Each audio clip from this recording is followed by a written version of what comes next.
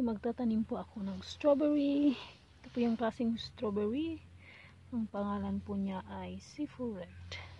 Ito po ay nabili namin sa isang website dito sa France na ah, may root na po siya. So itatanim mo lang po siya ganyan.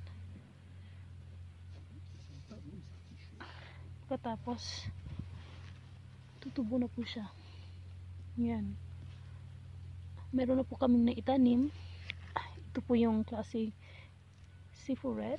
At yung iba naman po ay nandoon. Nilagyan namin ng nilagyan namin ng screen kasi kinakain po ng blackbird ang, ah, ang strawberry na to. Yan, so nilagyan namin hanggang tumubo po siya. Hanggang tumubo po sila. Hindi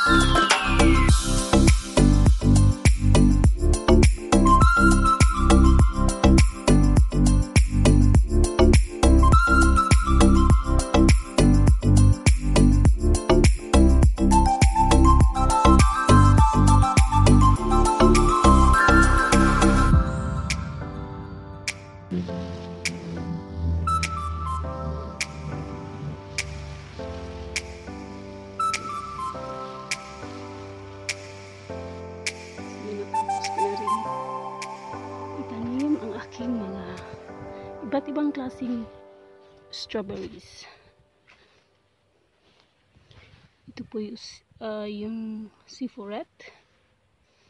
Ah, ito naman isa ay mariget. Ah, ito po naman ay si maestro.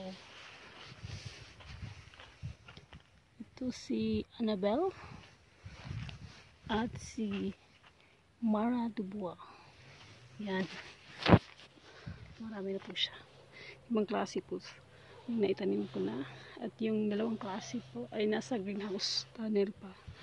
So, yun pong isa ay yung Italian na ah, malalaking strawberry at yung isa naman ay yung four season